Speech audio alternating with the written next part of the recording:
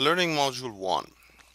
In this learning module, we're going to study simulation of a very common uh, flow configuration in fluid mechanics, which is parallel flow over a flat plate.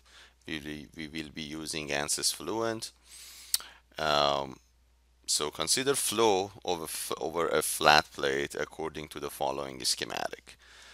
Uh, a parallel flow over a stationary plate will be simulated and the results will be compared with Blasius uh, analytical solution. So as we know, if we have a flat plate, stationary flat plate um, exposed to a parallel flow, then there will be a boundary layer formed on, on top of the plate and uh, the fluid, fluid particles inside the boundary layer will be uh, feeling the presence of this stationary plate while the flow particles that are outside the boundary layer they will not be uh, feeling the presence of the plate. Let's see if we can use uh, ANSYS Fluent to simulate this uh, configuration. So we assume the length of the um, the plate is one meter and the parallel flow is air at a free stream velocity of 1 meters per second. So note that if we find the Reynolds number um, at the end of this plate, then uh, the value will be uh, laminar. So we, we have that in mind.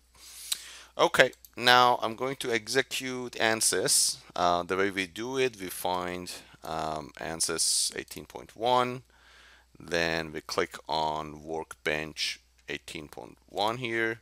Workbench as we know is um, kind of a software that organizes the simulation flow. Um, it does not do any specific thing by itself but it kind of uh, organizes the uh, different parts of the simulation. So when once we have the workbench uh, executed, we will uh, be seeing this page. So there are a bunch of modules that ANSYS has. We can do several things with that, but today we are focusing on fluid flow using Fluent. So I'm gonna drag and drop this to generate a flow of um, simulations. So different parts of a simulation using um, ANSYS Fluent is shown here. So as you see, we can generate geometry, we can mesh the geometry, uh, we set up our experiment, our uh, computational problem and execute the uh, simulation. Once the results are generated, they will be sent automatically to solution and to my um, post-processing software, which is um, CFD Post, and you will see it here. Okay, now before moving forward, I would like to save this um, simulation. I, I, choose the address that I want, module 1 flat plate, and I call this workbench file module 1 as well, and I save the, um, uh, the computation. So now I have a blank template. Uh, if I click on any of these uh, icons, it will execute a new uh, software for me which I can do uh, specific things. For example I'm gonna right click on geometry and um, execute new design modeler geometry. It is going to open a new um, package for me which I, I will be using to generate uh, the model. Uh, so since this will be a 2D geometry, I click on the Z axis. Um, that will generate a 2D plane on XY plane. Uh, I would like to change some settings. I want to see a 2D grid with the snaps. Major grids that I want to see is, um, let's say 0.1 meter. Um, and I would like to also have uh, 10 steps in a major space grid. Okay, that generates a grid for me. Now I go to draw I am going to draw a, a rectangle which essentially tell um, provides us with uh, the entire solution domain so I click here and then here just roughly um, then I should assign some dimensions here. So when we do uh, a 2d geometry anything on the x-axis uh, will be the, the work on the 2d uh, geometry the work will be done on an xy plane. So now what we have is this configuration uh, uh, the solution domain. So the uh, the bottom line here will be our uh, plate while everything you see here is going to be uh, the air that's going to be simulated. And the left side is one boundary right side is the other boundary and top surface is my third uh, boundary.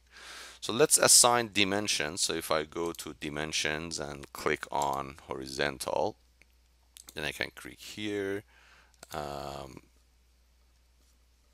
or it's better to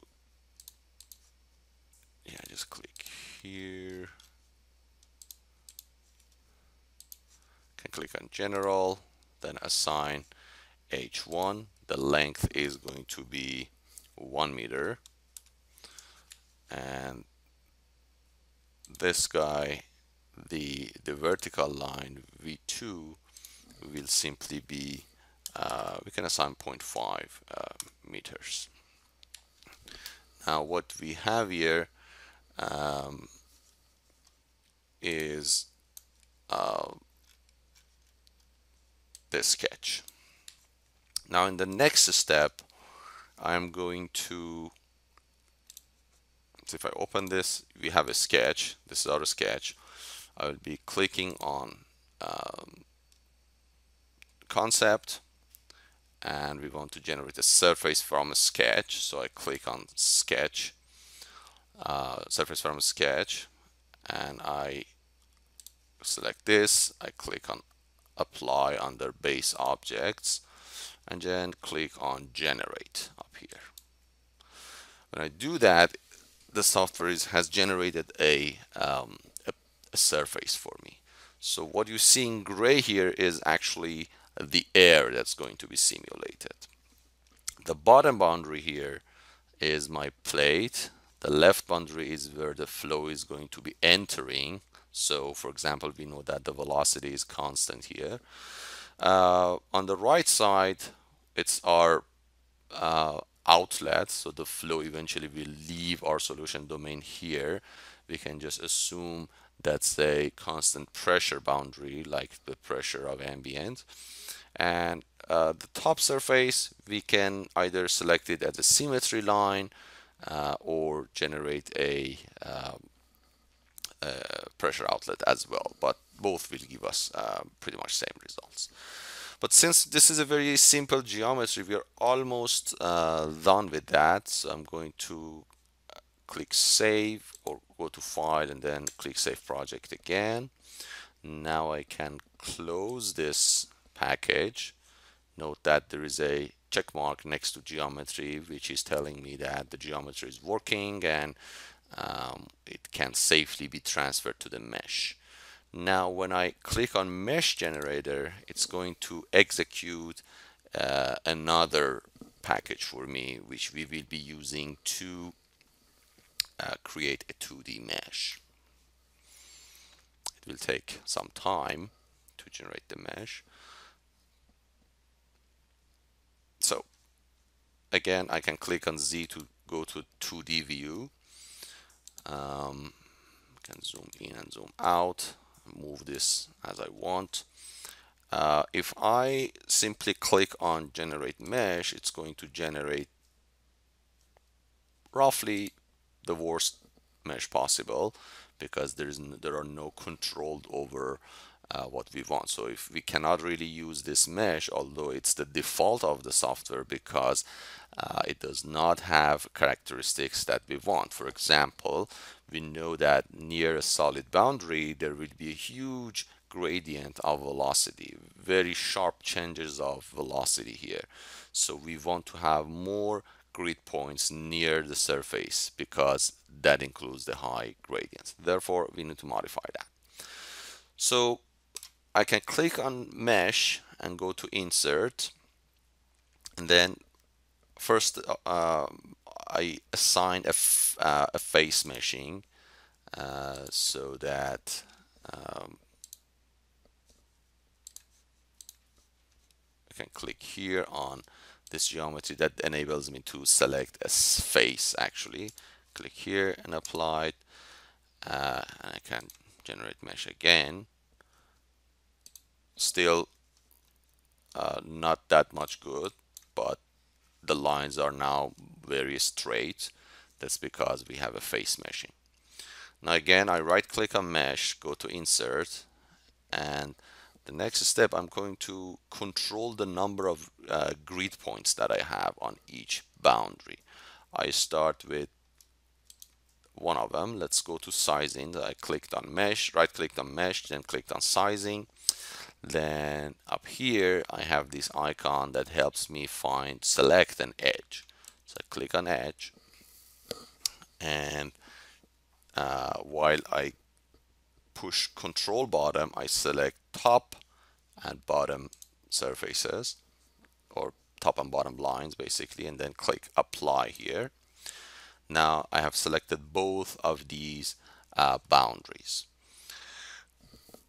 Now on this information side here I have diff I can change various things that will help me control the number of uh, grid points. For example I want uh, to have control over number of divisions. So I click here number of divisions. Instead of one I um, select 50 and I select and I change the behavior from soft to hard because I want this to be a hard requirement. And then again, I can generate mesh. And if you click on this mesh icon, it will go, it's going to actually show you the mesh. Uh, there are, up, of course, more grid points in both directions, but still it's not giving me the clustering of nodes near the solid boundary that I really want. So again, I'm right clicking on the mesh insert sizing. This time I uh, only select the left surface and click apply. Then I come here and change the type from element size to number of divisions. And I would like to have 60 divisions here. I want the behavior to be hard uh, here's the tricky part. So see, it says the bias type, no bias, which essentially is going to generate a uniform mesh for me. But I do want the mesh to be biased. So I can select, for example, this uh, bias factor. Uh, some new menus will appear when I change the bias type.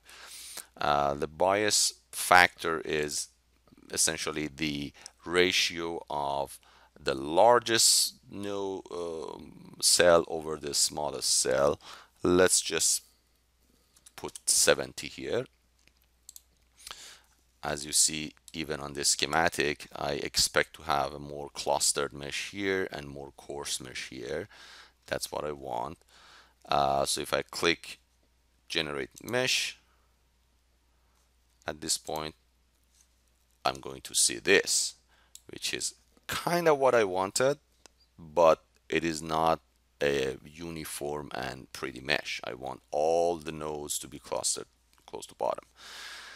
In order to do that, I again do another sizing, but this time I select um, the edge on the right, then click apply.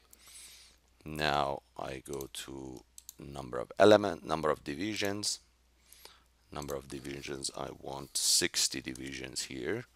Behavior is hard and I will have a, a bias with a bias factor of 70 the same as uh, the left boundary. So as you see the appearance of the nodes is not what I want. That is it is actually the reverse of what I want. In order to do that I can come here and say reverse bias and then select, select this again and select apply and then that will fix it and now I have more clustered mesh near the surface. Now again I click on generate mesh it takes very quickly to generate this mesh because it's very easy.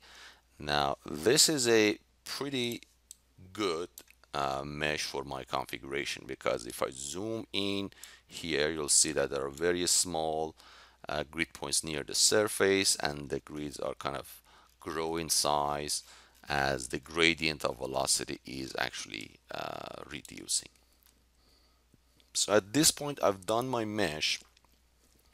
In the next step before I proceed to um, defining um, the simulation or uh, going to the next step I have to assign some names. So in order to do that, I first start with selecting uh, this surface, the whole surface. I right click on it. I first clicked on uh, the icon that lets me uh, select the surface, then on the surface and then right click. Then I have I go down here and find create named selection. Create name selection is a way that we kind of tag different parts of a model. These tags will later be used in the uh, in the simulation. So it's a good idea to do a better job of, of tagging. For example, I'm going to call this um, air flow and click OK the name selections will appear here. So if I click on it, it's telling me, okay, you assigned airflow to the whole surface. Now I click on the edge controller up here, and then I can select the left boundary, right click on it, and go again to the create name selection. And I call this uh, inlet because I want it to be the inlet of air. Close I again go ahead, select the right edge, right click, create name selections. That would be uh, outlet. Click OK. So another name selection appears under name selection in the tree. Uh, this surface is my plate. So click on the boundary, right click, create name selection. I can just simply call it a plate and click OK the top surface, right click, name selection. Uh, this one does not really matter much because it, it's going to be far away from the plate, but just for the um, for the heck of it, let's call it far uh, field pressure. And then click OK. You can call it anything you want. Now, at this point, we're ready to save the project again and once we do that then we're ready to close this package and move on um, to the next level which is initiating the fluent software and uh, adjusting and uh, setting up our model. Before doing that sometimes we see uh, a sign like this under mesh uh, which is telling us there is an update needed. So I right click here uh, and I click on update. It just makes sure the mesh is ready for uh, my solver uh, which is ANSYS. ANSYS Fluent. It will take a, a, moment. Once it's done you will see the check mark. So the mesh is good and the mesh is sent to the solver which is ready for us to be uh, set up. So again I click on setup uh, this Fluent launcher will appear for me which gives me some some options. For example I can always click on double precision that increases my accuracy. I recommend that you do it for all calculations that you do.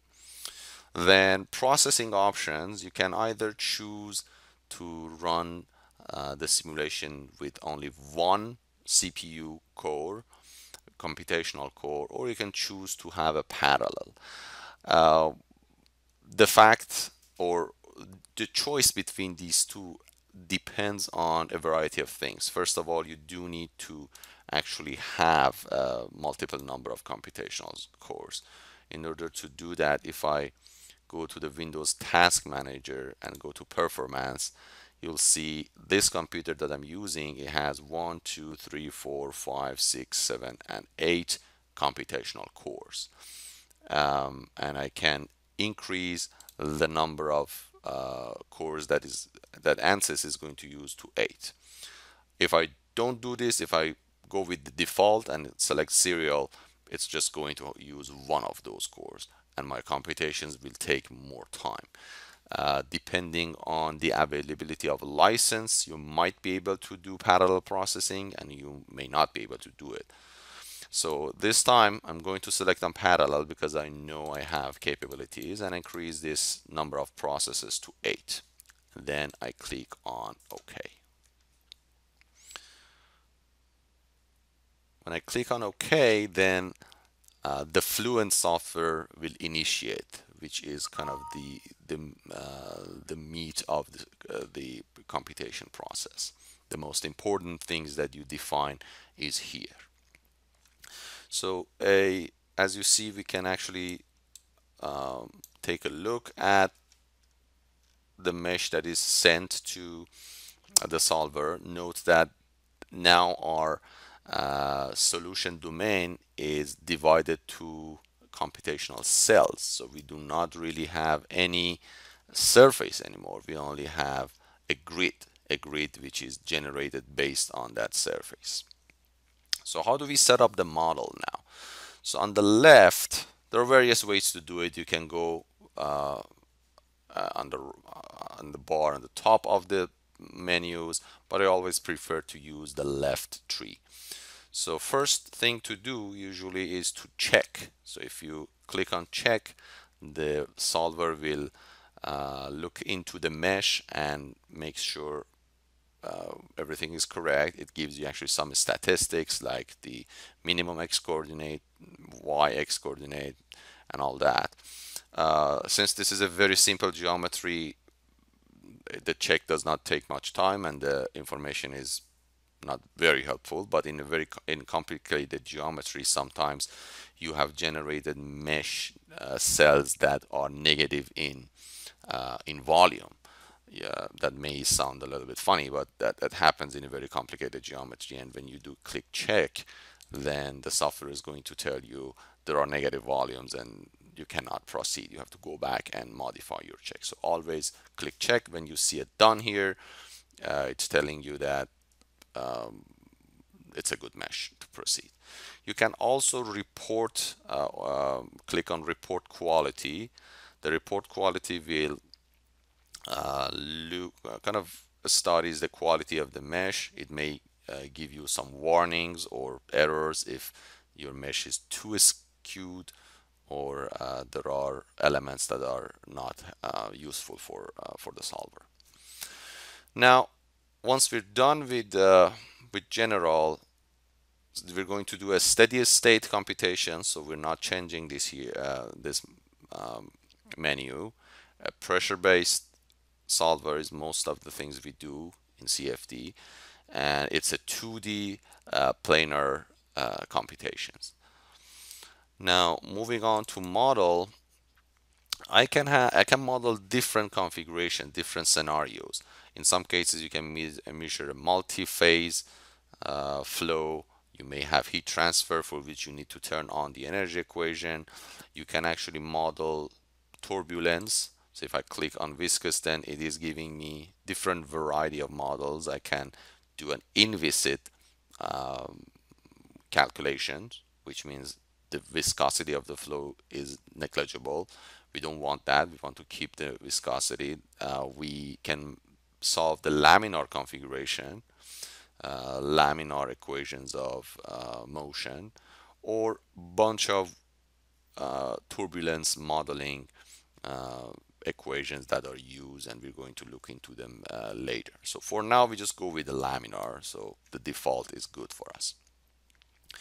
Now if I go to materials, if I click on materials I can in fact um, select the material that I'm going to be using. Note that this is just uh, the loading phase. Later on, we will assign uh, different materials to different parts of the solution. But for now, for example, I, I have air, I can click on air. It's showing me this menu. Uh, there are properties of air. If there is a specific material that you want, Fluent has a database. You can click here and find the material that you want. But in either case, you have control over the values of properties. Um, actually, in this calculation, I want to use a density of one kilograms per meter cubed uh, for air and I want to change the viscosity of air to 1 times 10 to the minus 4 kilograms per meter second. I select these and I click on change create and then close it. By default it also has an aluminum but as a solid but we do not really have any solid um, geometry in our solution domain. Remember that we do not really model the solid part. We only model uh, the flow, which is the flow of air on top of the plate. So uh, keep that in mind. Now moving forward, we have the cell zone conditions. I open this so that you know. Uh, we can choose the material that we, we, we have adjusted before. So if I click here, it's telling me you can choose air. Um, I cannot choose aluminum because uh, this area is chosen to be a fluid. So for now, I keep it as is. Now, the most important part of our uh, setup is setting up the boundary conditions. Boundary conditions are going to give physical meaning to, uh, to the math that this software is solving. Uh, I start with, um, let's start with the plate. So if I click on plate, it is going to open a window like this. Uh, it's a stationary wall uh, with no slip condition. So the flow is has zero velocity on the surface of this stationary wall. And that's it. There is no other thermal radiation or any other thing that we can change. So we can simply click OK. If I go to the inlet, if I double click on inlet, then it is going to open another type of boundary condition. Automatically, the software understands that inlet is most likely an velocity inlet. Uh, if I don't like that choice, I always have the option of changing the type of the boundary condition. For example, I can click on this menu and gives me a bunch of different types of boundary conditions that I can assign. I can assign it as a mass flow inlet, uh, inlet outflow, uh, pressure outlet, symmetry, and all that. But velocity inlet is actually what I want in this point. So I keep it as is. Uh, on the velocity inlet menu, I can define the magnitude of the velocity. Um, so you can you have control over how this velocity is defined. For example, here as you see, uh, I can select different method for velocity specification. I can say, okay, I want to give magnitude and direction. So I, in this scenario I have to give uh, the software the magnitude of the velocity and then give x component and y component or I can do just the components or I can do magnitude normal to the boundary in this case the flow is going to be parallel to the plate therefore it will be normal to my uh, boundary line Therefore, I use magnitude normal to the boundary. I keep the, uh, keep the reference frame as ab uh, absolute. And I assign the velocity that I know is 1 meters per second. Down here, you'll see supersonic initial gauge pressure. For uh, subsonic flows, we can just always keep that at zero. So now I click on OK. Um, so now I, I have two other boundaries to deal with. Let's start with the outlet. If I click on outlet, um, as you see by default, the, the software understands that an outlet is most likely a pressure outlet. So it opens a different type of uh, window for me in which I can select um, the gauge pressure. The gauge pressure of um, the local value of gauge pressure basically. So keeping the gauge pressure zero is just telling the software that it's an atmospheric condition here. There is no uh, pressure buildup or, or you know compressed situation. The gauge pressure is zero. So keep that as zero and you can have control over backflow for now we do not really deal with that backflow corresponds to situations that the flow is reversed and maybe sucked into the solution domain.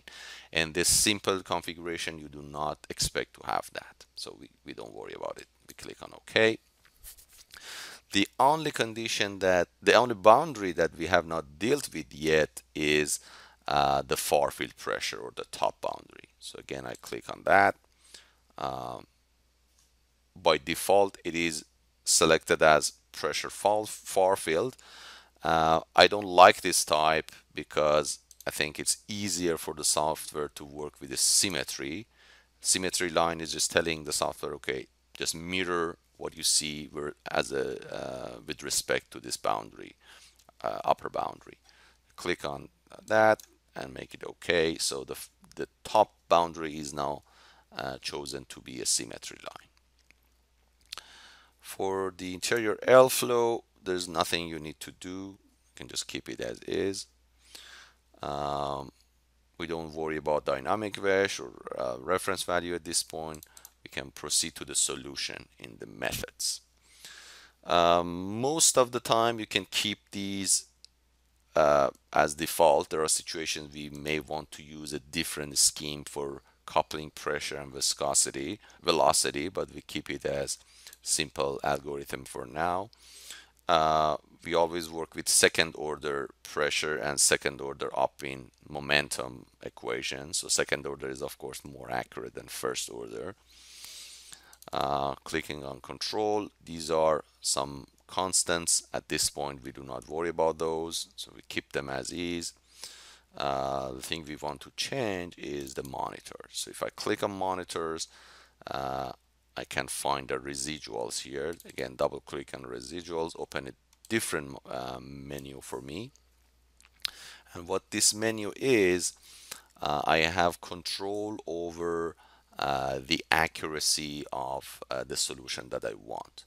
So since this is simply a 2D flow uh, with no heat transfer, there are three governing equations. I have the continuity equation, x component of velocity and y component of velocity. And on the right side here, we see uh, the absolute criteria for the residuals. The smaller the residuals, uh, the more accurate uh, my results. Therefore, I'm going to increase this from 10 to the minus 3 to 10 to the minus, uh, 6. And I do this for all of the equations, so I generate pretty accurate results. Of course, there is a penalty associated with decreasing these uh, residuals, and that's the computational time. Um, you have to wait more until the solution is converged. Now, I'm ready, click OK. And at this point, uh, I'm pretty ready to initialize the run. If I click on initialize or initialization here, a menu for, will be open uh, on the, uh, under this task page for me. There are two different ways of initializing a model. We can always do a standard initializing. Uh, and what initialization is, um, is basically the uh, the initial guess that you need in order to solve uh, this set of differential equations. You need to start with something and solve uh, the governing equations iteratively. You will see later that the values that you use here may in fact help the convergence of the code or if your guesses are too uh, wild or they do not make sense, your computational time can increase.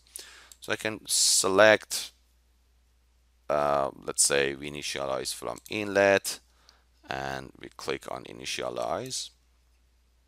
If you select something else, your solution shouldn't really change. Now, at this point, I'm ready to uh, run my model. So in order to do that, I click on run calculation. A new page is open for me and I have control over the number of iterations. By default, it is set as zero, which doesn't make sense. Now I'm going to increase it to a relatively large number. As soon as the solution converges and my residuals are smaller than my convergence criteria, the solution will stop. Therefore, having a very large number here is not going to, you know, generate any uh, any bad sides. Yeah, the only problem is that if your solution is not converging, then it's going to go all the way to this huge number. Now I'm ready. I can uh, click on calculate and the rest will be just sitting back and looking at uh, the solution being converged. What you see here on this plot is on the x-axis, you have the iterations, and on the y-axis, you have the oh, solution is already converged. The y-axis is the residuals of each equation that the software is solving. As we said, we have we are solving three equations: continuity equation, x velocity, and y velocity. And once the residual of all these three uh, equations are smaller than 1 times 10 to the negative minus 10 to the negative 6 then the solution is uh, converged. That's the, that's the um, configuration that uh, we, we selected. We could have selected a different value for convergence criteria and it's in our hand. If I want the more accurate results I can actually go here to the residuals and say I want more accurate, why not just going to 1 times 10 to the minus 7? At some situations, it may actually make sense. I can again click on uh, go to run calculation and click calculate. The solution will uh, continue um, until the smaller residuals is met. As easy as that. Okay, now we're ready to look at the results. So for doing that, I always recommend you to go to File menu and save the project before you lose anything. Now you have different ways of looking at the results that you generated. You can always use the results section here or you can go and use the CFD post software which is uh, another software used specifically for uh, monitoring the results. Sometimes it's easier to use CFD uh, post. Sometimes it's easier just to look at the results in Salt Fluent. So you should be able to do both. For example, if I go to graphics here in the results, I can generate a contour plot. So I click on a contour plot.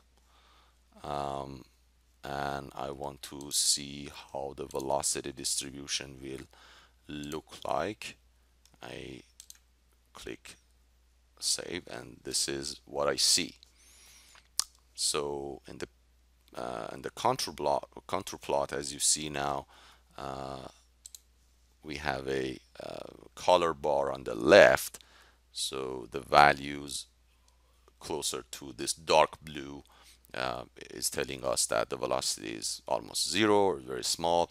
The more the colors approach uh, the red color, uh, we are having a larger velocity.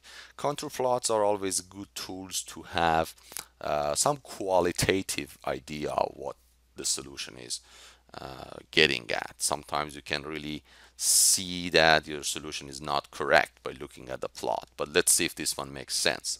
Well, clearly I can see the formation of the boundary layer um, on on top of the plate. So if I zoom, let's say here, I can see that the velocity is zero on the surface. It slowly increases and it gets to the values that um, are closer to the inlet. Um, now I can also do vector analysis so I can go here click on vectors then click display it is going to give me a, a vector plot. So smaller vectors here a larger vector here which is showing me the, the direction of velocity here.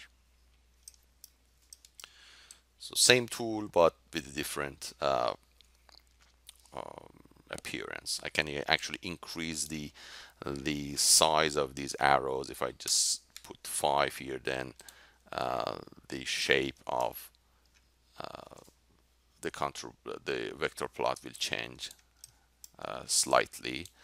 Uh, we can actually skip some of them but sometimes that's not very helpful like this one so it doesn't make sense for us to do it here. I can click on path lines here and select path lines that are released from the inlet um, click on display. The path lines kind of show the trajectory of particles. Um, as we expect uh, the particles here will move in parallel to the flow so nothing um, exciting there. But now again I want to proceed to CFD post so I click save project. Okay. And I can safely close my solver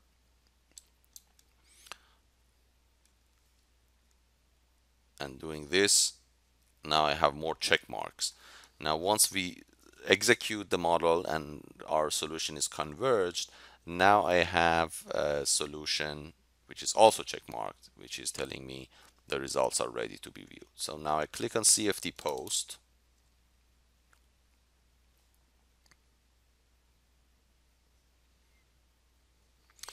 So CFD post again is uh, is ran on a 3D situation. By default, I can click on Z.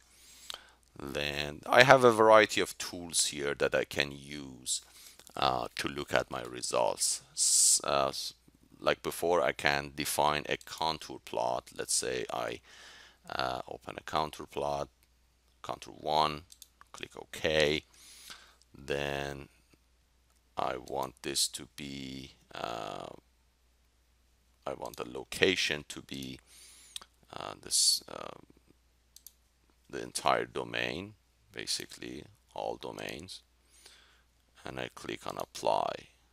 And it's going to generate uh, a contour plot of pressure here for me. Uh, you have control over number of the colors you want. For example if I increase this to 50 and click apply then I'm going to have 50 colors more high quality uh, contour plots is generated in this case for me. If I am interested in a different contour plot, I can go to variable and choose, for example, velocity magnitude, click apply, and I see a better contour plot for velocity. Um, this is exactly what we saw in Fluent, but now you can get a better view in um, in the CFD Post software. Okay, now one important thing that we can do, we can plot the values of different parameters everywhere on this solution domain. Uh, for example, if I click on this chart icon here up here and define a chart, calling I call that chart one, then a menu is open here. I, I want to kind of manage the, the xy plot that's going to be generated here. So the x value, I want the x value to be uh, the velocity in x direction. And the y value, I want it to be um, actually the location y. So if I click apply, it's telling me the data series location is missing, uh, which is the reason we, we do not have any I have to go uh, here in data series and define a location. Where do you want to uh, uh, plot this values from? So I have to first define a let me show you this contour first. I have to first uh, define a line here at the let's say at bot at the very uh, far right of the solution domain. I define a line here and then I plot everything that I want on that line. So I need to go up here insert location then line. I can assign any name I want to the line. Let's keep it as line 1 now uh, you have control over this solu uh, this um, the, the the location of the line. You can do different methods. You can do two points or um, others for lines. You can actually just do two two uh, points. So first point I assign here so x will be 1 y will be 0 and z is 0 because this is a 2d geometry anyways now point 2 I want to assign the top right corner of the model. So the x value will be 1 the y value will be 0.5 and uh, the z value will be 0 and then I can click on apply. When I do that again I can select chart here and tell the software to plot the values I want along line 1 so again x-axis is u velocity in x direction and y-axis is the uh, the location uh, the, the y coordinate of the location and I click apply. This is what uh, we will get. So as you see there's a sharp um, point here. This is because we don't have enough data points. If I go to line here I can increase the sample size to let's say 100 and then click apply.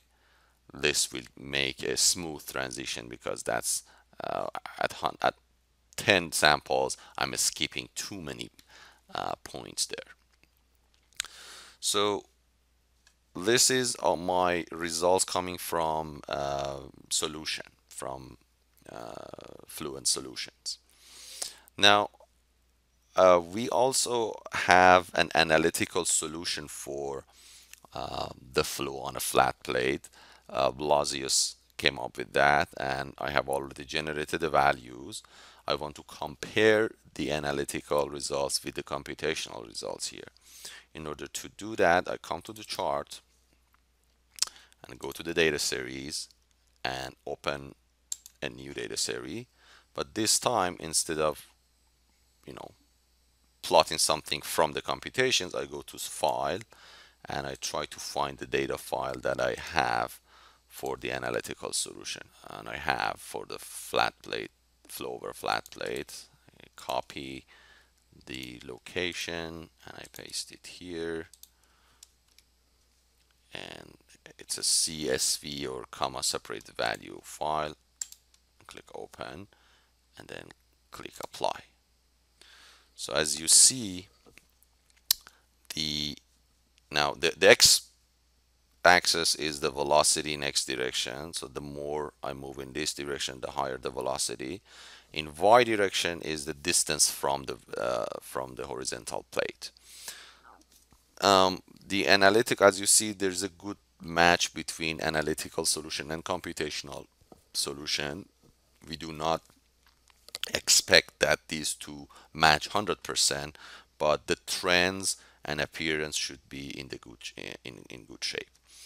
Uh, as you see there is a uh, overshoot in velocity and you one may think this is uh, some computational artifact but turns out that is not uh, the case. In order to explain this I need to go back here and look at the contour plots of velocity.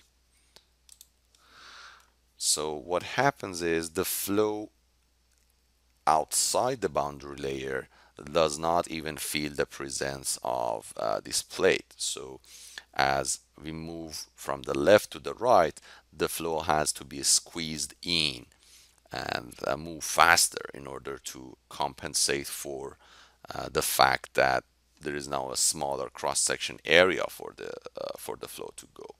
Therefore, uh, you'll see that the velocity increases and then decreases very slightly. So these this overshoot uh, actually makes sense. So one question that you may have is that why the analytical solution of series 2 here does not go beyond uh, 0.2. Uh, the reason is that the uh, the analytical solution by Blasius does not work outside uh, the boundary layer. However, my CFD calculations can well, uh, you know, be you be uh, referred to outside the boundary layer because it's not the only thing we modeled. So, although the agreement is uh, is good, but we uh, we don't see anything uh, for analytical solution at locations far away from the surface. Okay, now you have a good understanding of how the software works at this point. You can generate all kinds of other um, um, outputs. For example, again, I can click on vector, okay. Then I can say, okay, the location uh, of my uh, I want to have the vector plots on the entire solution domain here. Click on this. You see it's been over uh, superimposed on the contour plot. So I can turn off the contour plot by clicking on this guy. And again, I can simply see uh, the contours here. So the vector plots uh, for this case is not very helpful. We do not really gain anything by looking at it, but you will see later that for complicated geometries, uh, it can be uh, very helpful to see.